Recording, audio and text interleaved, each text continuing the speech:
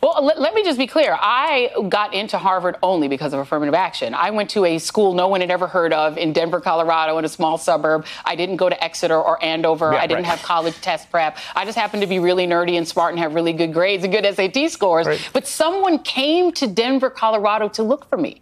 A Harvard right. recruiter flew to Denver, and I met up with her at the Village Inn restaurant and did a pre-interview to get to to pull me into Harvard. I wasn't. I was pulled in, and the and the schools like Harvard and Yale that I got the, into affirmatively, yes. and it was literally not saying we're going to take an unqualified person and put them right. in Harvard. Yes. We're going to take a very qualified person who we would never know existed and put them in Harvard. That's how I got there. That's how Ketanji got there. That's how uh, Justice Jackson, I should say, Justice Jackson got there. It's how Clarence Thomas got there.